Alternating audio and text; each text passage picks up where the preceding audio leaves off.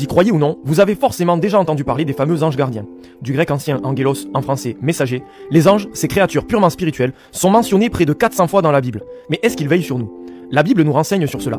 Le malheur ne peut fondre sur toi, ni la plaie approcher de ta tente. Il a pour toi donné ordre à ses anges de te garder en toutes tes voies. Sur leurs mains, ils te porteront, pour qu'à la pierre ton pied ne heurte. Ou encore, l'ange du Seigneur campe alentour pour libérer ceux qui le craignent.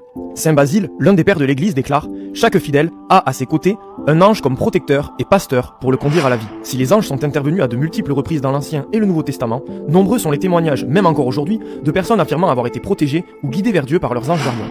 Vous l'aurez compris, les anges gardiens existent bel et bien pour l'Église catholique.